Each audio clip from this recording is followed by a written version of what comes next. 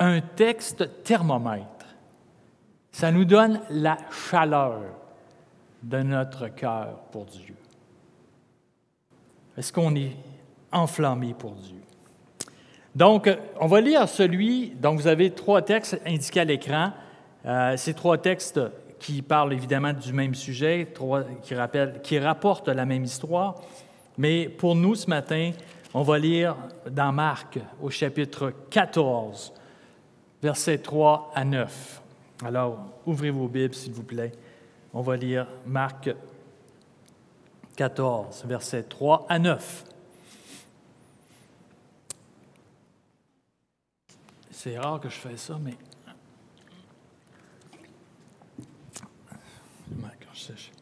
Alors, comme Jésus était à Béthanie, dans la maison de Simon le lépreux, une femme entra, comme il se trouvait à table, pendant qu'il se trouvait à table.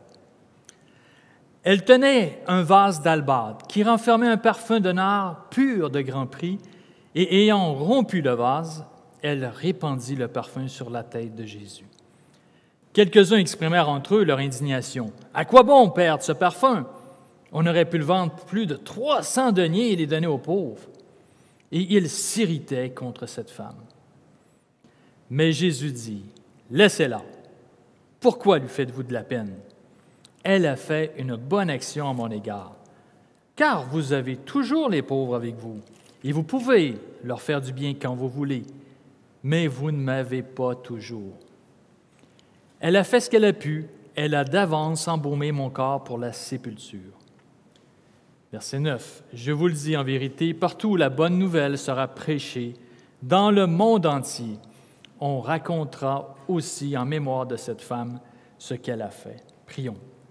Notre Dieu, on veut euh, penser à cette dernière phrase de ce texte, une prophétie qui nous touche à matin. Partout où on va se rappeler euh, on va se rappeler, on va être en mémoire, on va se rappeler ce que cette femme a fait. Et on veut se rappeler ce matin, étudier, euh, regarder ensemble ce que cette femme a fait pour toi, ce que Marie a fait, le parfum de Marie.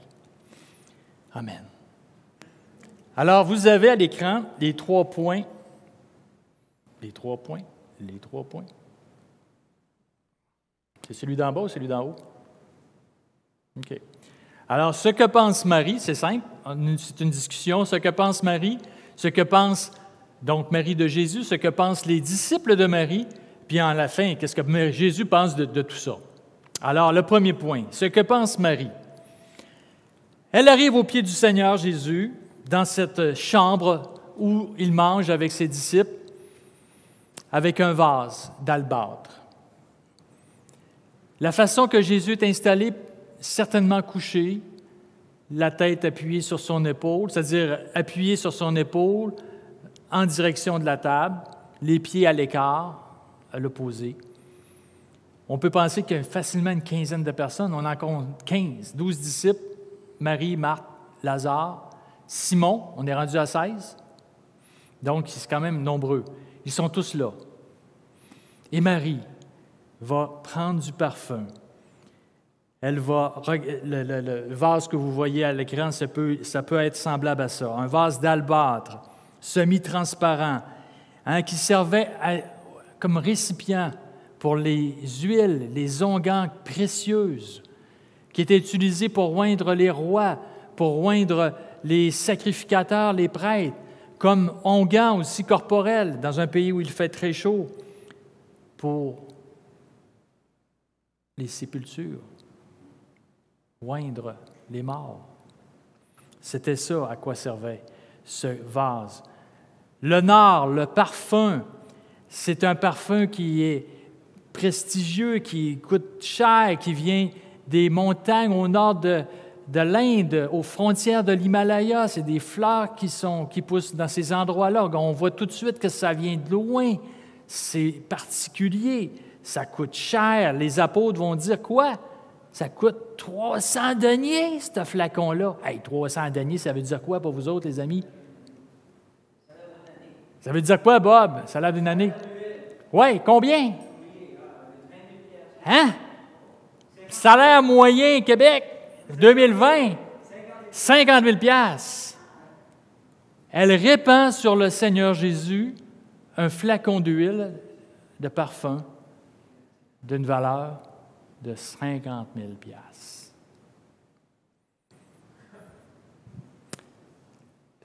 Alors, qu'est-ce qu'elle fait exactement? Elle brise le vase. Elle répand le parfum sur la tête du Seigneur Jésus et dans l'Évangile de Jean, on lit Marie ayant pris un livre de parfum d'honneur de, pur de grand prix, oignit les pieds de Jésus. Et elle les essuya, elle essuya les pieds avec ses cheveux. Et la maison fut remplie de ce parfum. Donc les pieds, la tête sont, ont du parfum. Le parfum couvre. Et elle essuie donc avec ses cheveux. Apprécions un peu maintenant ce que fait cette femme. Premièrement, tout ce qu'elle fait est en honneur à Jésus et tourné vers Jésus. Elle prend un vase d'albâtre. J'ai appris un vase à la maison qui pourrait ressembler à ça, un long goulet. Qu'est-ce qu'elle fait? Elle casse le bec. Pourquoi elle casse le bec, tu penses? Non, non, non, non, non. Quoi? Pour que ça coule plus vite. Elle n'est pas là pour y verser quelques gouttes sur la tête et sur les pieds. Slang, tout va couler. Usage unique, messieurs et mesdames. Ne pourra pas être réutilisé.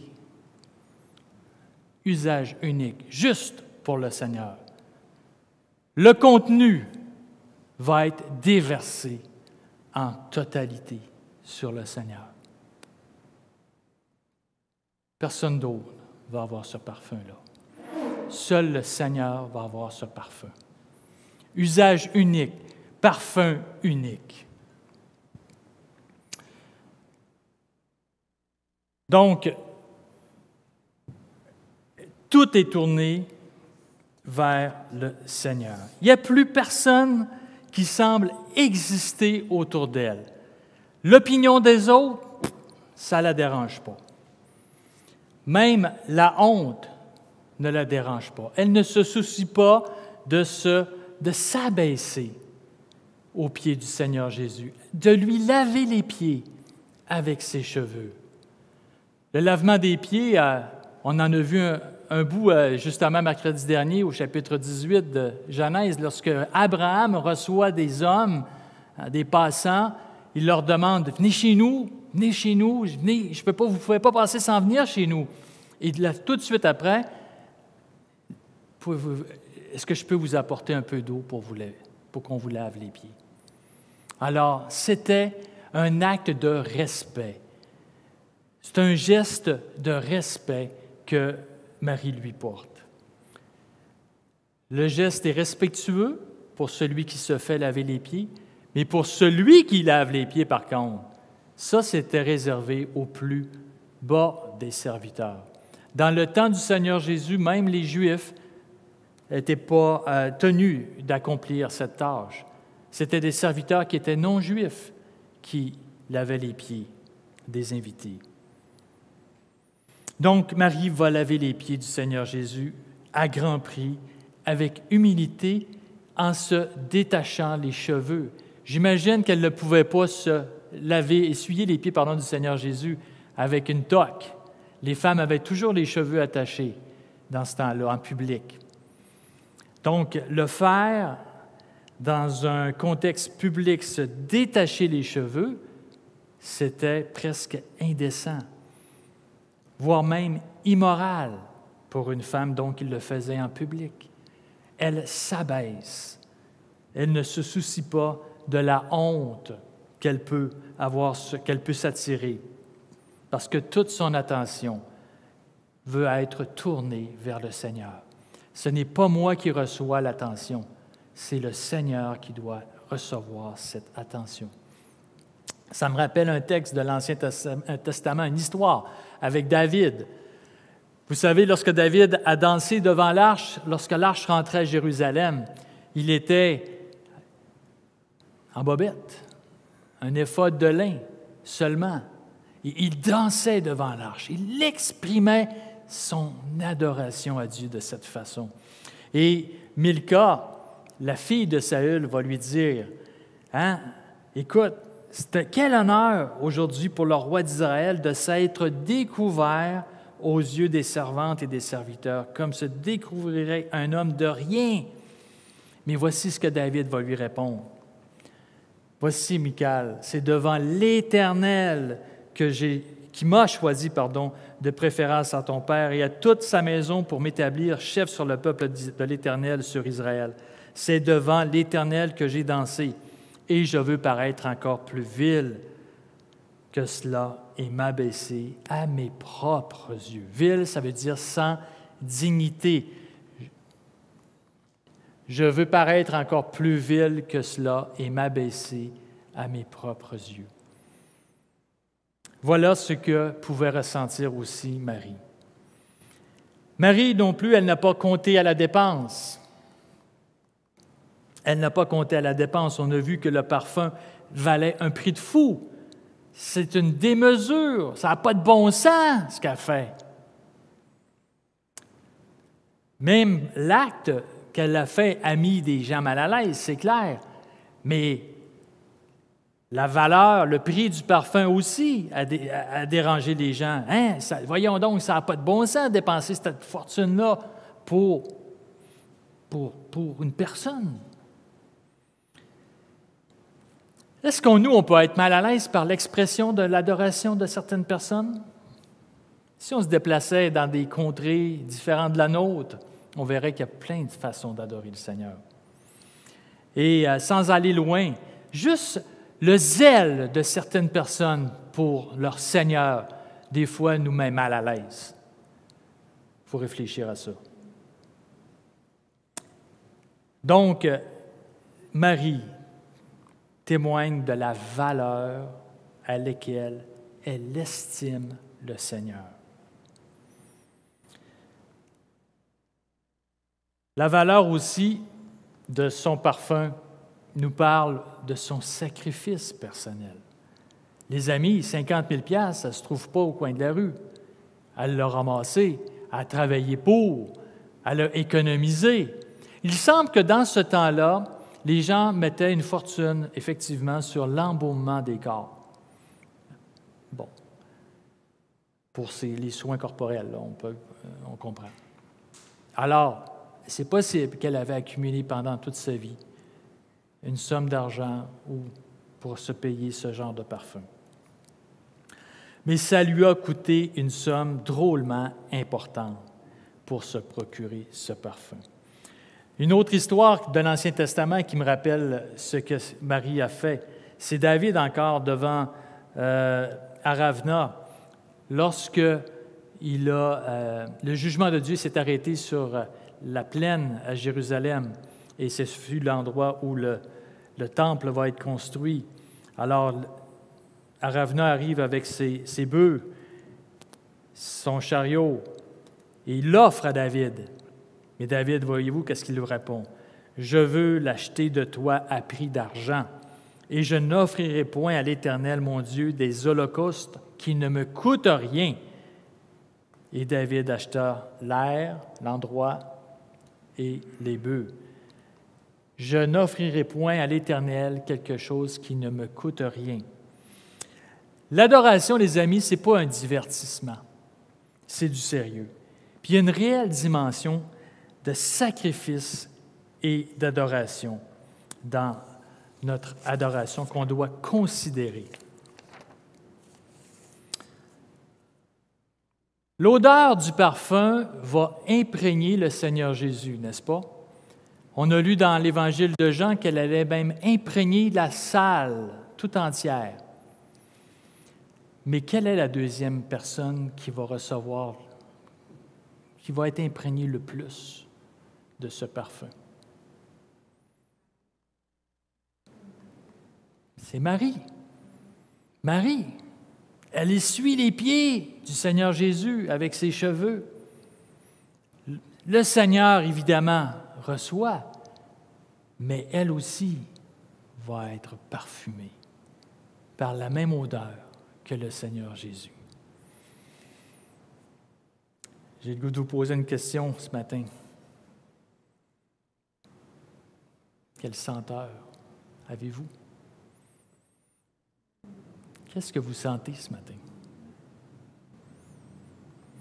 L'Évangile, pas l'Évangile, mais l'Épître aux Corinthiens nous rappelle que nous devons porter la bonne odeur de Christ. Porter la bonne odeur de Christ. Alors, quelle senteur avez-vous ce matin?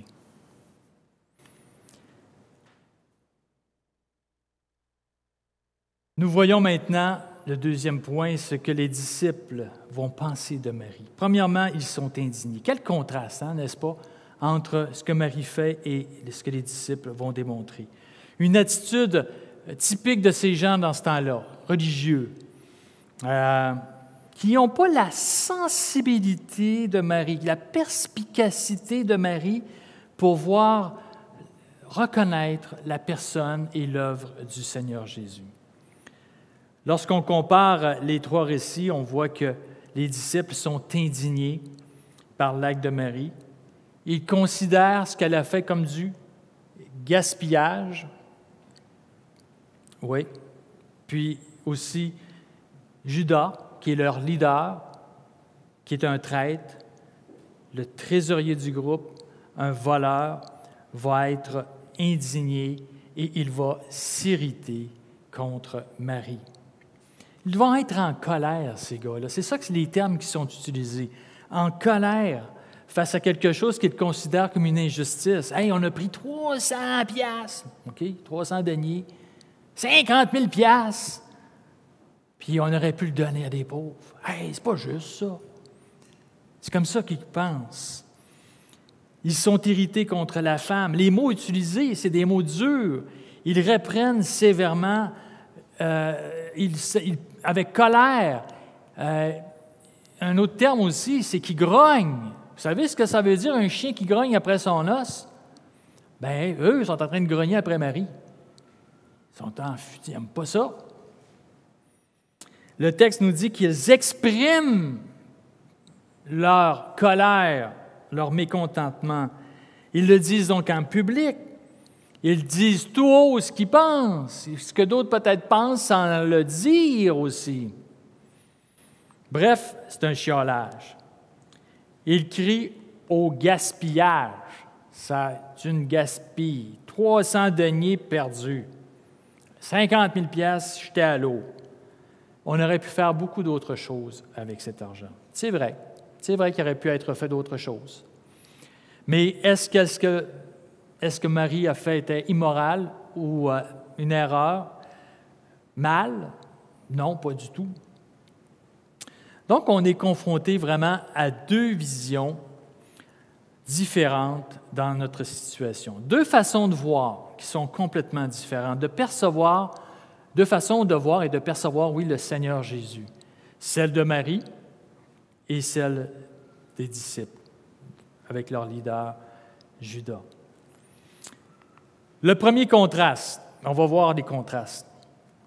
Marie a porté toute son attention sur le Seigneur Jésus. Il n'y a personne d'autre qui existe pour elle. Hein? Elle témoigne de la vérité sur sa personne et sur son œuvre. Elle reconnaît des choses, elle est sensible à ça. Judas et les, disciples, eux autres, ben, ils ont détourné leur attention du Seigneur Jésus pour la porter sur les pauvres. Ils se sont intéressés aux pauvres, mais ils se sont détournés du Seigneur Jésus. C'est vrai que les pauvres sont importants, mais ce n'est pas ici la priorité. Deuxième contraste. Marie, elle, était motivée par la dévotion, par l'adoration. Marie, c'est vraiment une femme spéciale. Trois fois dans les évangiles, elle est mentionnée. Et à chaque fois, elle est aux pieds du Seigneur Jésus. Avec l'histoire de Marthe et Marie, c'est elle qui est aux pieds du Seigneur, qui écoute les paroles du Seigneur. Puis là, Marthe a dit Hey, elle dit, tu pourrais pas lui dire de venir m'aider Il dit Non, non. Marie a choisi la bonne place, la bonne part. Deuxième place, lorsque Jésus revient à Béthanie pour ressusciter Lazare. Hey, Seigneur, t'arrives trop tard, il est mort. Elle se tire à ses pieds. Elle l'implore. Et dans notre texte, elle est à ses pieds pour lui essuyer avec, avec ses cheveux. Donc, c'est une femme spéciale, sensible, perspicace. Elle aimait vraiment Jésus. Et son attachement, justement, l'a amené à comprendre des choses. Jésus, pardon, Judas et les disciples, eux, sont motivés par l'avidité, l'avidité, oui, la jalousie, l'insensibilité aux paroles du Seigneur. Marie était sensible aux paroles du Seigneur, mais pas les disciples. Troisième contraste, Marie est occupée par le Seigneur. Son focus, c'est lui. C'est elle, c'est lui qui l'intéresse. Et comme j'ai dit tantôt, le Seigneur va dire d'elle, elle a choisi la bonne part. Les disciples, au contraire, ben, sont occupés par eux-mêmes, par leurs activités, sont remplis de mauvais sentiments pour Marie. Ils sont même irrités contre elle et comme j'ai dit aussi, ils l'ont grondée. Ultérieurement, les disciples vont comprendre aussi les mêmes choses que Marie. On se comprend là. Les disciples vont être allumés, mais dans notre histoire, présentement, ils sont distants. La compréhension de la personne et l'œuvre du Seigneur est devenue la motivation, la force qui est derrière la démonstration de foi de Marie. C'est sa compréhension de ce qu'il est. Tandis que de l'autre côté, les disciples, avec leur leader Judas, bien, ils ont une dépendance envers les activités du monde, envers l'argent, envers leur avidité, leur intérêt personnel. On sait que Judas, ben, c'est un voleur. Et aussi l'accomplissement des prophéties en relation avec la délivrance d'Israël. Eux autres, ce qu'ils veulent, c'est un sauveur qui va mettre les Romains dehors et qui va rétablir le royaume d'Israël. Chapitre 14, verset 1, vous relirez. Chapitre 14, verset 10, vous les mettrez ensemble. Vous allez voir. Donc, un mécontentement contre Marie, une trahison du Seigneur par Judas qui va amener quoi? À le livrer. C'est le verset 10. Judas va livrer le Seigneur. Donc, on a un contraste entre Marie et, et Jésus. Marie, pardon, et les disciples en relation avec Jésus. Où tu te situes ce matin, toi? Es-tu comme Marie? Ou tu es comme les disciples? Julien, je connais la réponse. Hein? Où tu es? Est-ce que ton cœur est sincèrement attaché au Seigneur? Est-ce que ton vase a été brisé pour le Seigneur? Ou tu l'as gardé? Tu as gardé ton parfum pour un autre usage pour quelque chose que tu aimes, quelque chose que tu adores, où tu as versé tout ton parfum. Vous savez, en général, et je suis de ça, de, comme vous, là, je peux vous dire que j'ai encore probablement une coupe de vase chez moi. Mes vases n'ont pas tous été cassés. Peut-être que ce matin, tu devrais réfléchir à quel vase il te reste à casser pour le Seigneur? Quel vase il te reste à casser? Quel parfum il te reste à répandre sur le Seigneur?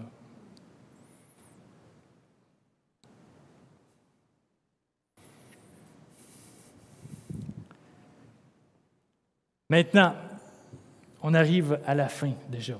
Ce que Jésus pense. Premièrement, il va dire Hey, c'est assez, laissez-la. C'est un impératif, une réprimande sévère, une note d'urgence. Wow! Un instant. C'est assez. Laissez-la. Deuxièmement, il va dire Pourquoi vous lui faites de la peine? Hey! Ça, là, ça veut dire, là, les gars, vous n'avez pas compris pas tout ce qu'elle fait. Votre compréhension de son action, là, est dans l'erreur totale. Vous lui faites de la peine, c'est une erreur. Cette phrase est en elle met carrément en opposition leur motivation. Le Seigneur y a vu très rapidement ce qui se cachait derrière cette phrase-là, d'ailleurs, hein? la fameuse euh, On pourrait donner l'argent aux pauvres, là. Oh, un instant. On sait ce que ça veut dire, hein? C'est pas ça qui était leur préoccupation. C'était le poche. Judas, d'ailleurs, Jean va le dire, il s'en soucie pas des pauvres. Ce qu'il veut, c'est mettre l'argent dans sa poche. Il garde son pourcentage, lui. Donc, euh, l'agenda caché qu'ils ont de savoir que Jésus doit être leur leader, doit prendre la place, doit être le roi d'Israël, toutes ces choses-là viennent. Seigneur Jésus connaît ça. Et après, il va justifier l'action de Marie.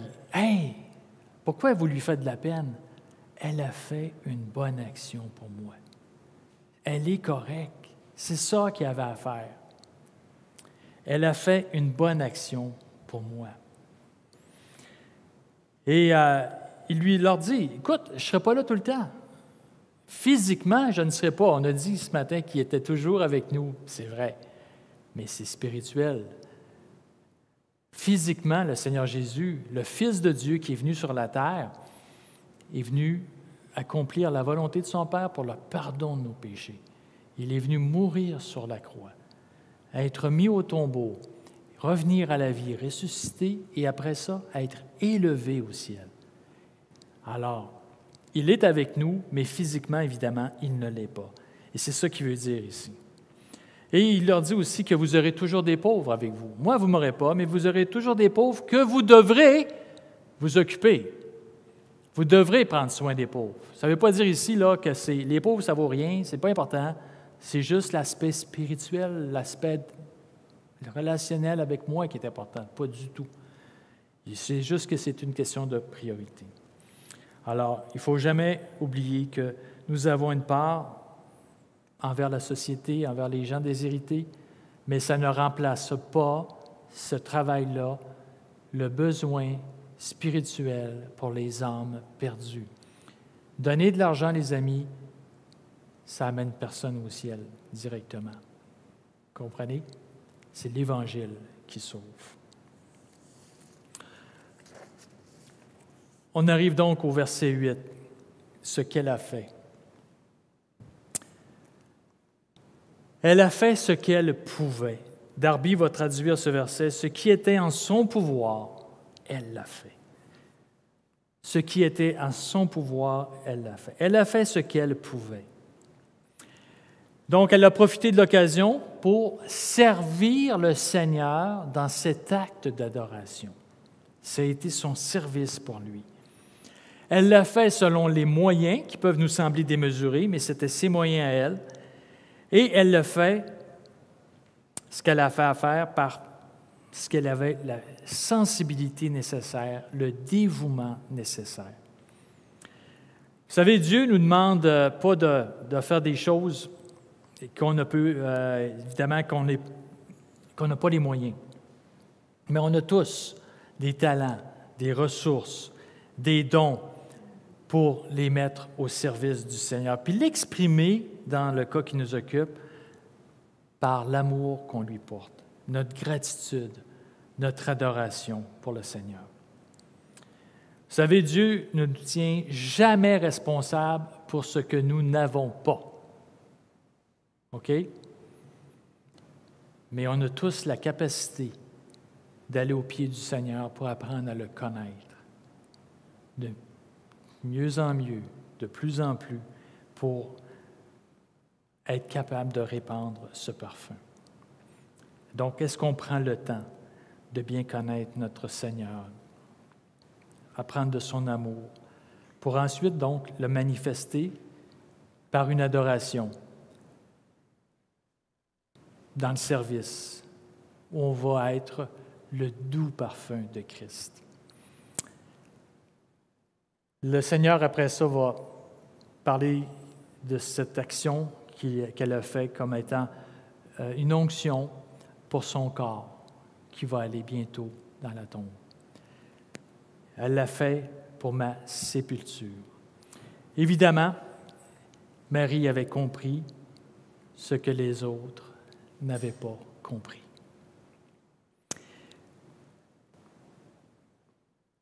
J'ai dit tantôt, quel parfum avez-vous pour Dieu? Qu'est-ce que vous sentez ce matin? J'ai dans ma main la Bible d'une dame qui est morte il y a quelque temps ici, Célina.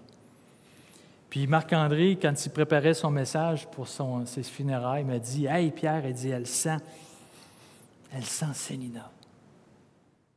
Sa Bible sent Célina. Quelle est la senteur de votre Bible le matin? Qu'est-ce que votre Bible sent? La poussière? Le moisi? Ou votre senteur? Parce que si vous ne lisez pas la Bible, si vous n'êtes pas imprégné de ce livre-là, vous ne pouvez pas être imprégné de Christ. Et vous ne pourrez pas être ce parfum de bonne odeur pour les âmes perdues. C'est ça, être imprégné de Christ. C'est ce que Marie nous témoigne dans son acte d'adoration. Elle connaissait son Sauveur. Elle avait passé du temps à ses pieds. Elle était capable de répandre tout le parfum qu'elle avait pour lui. Prions. Notre Dieu, merci encore pour cette magnifique histoire de Marie qui t'aimait tellement et qui nous parle comment nous, on doit t'aimer aussi sans réserve, sans retenue, tout ce qu'on a. Seigneur, on est appelé à offrir nos corps. Ce matin, euh, je posais la question aux gens, hey, à quel prix tu, estimes la valeur de Christ? Ben, il n'y a pas de prix en bas de, tout ce qu'on est. C'est ça le prix.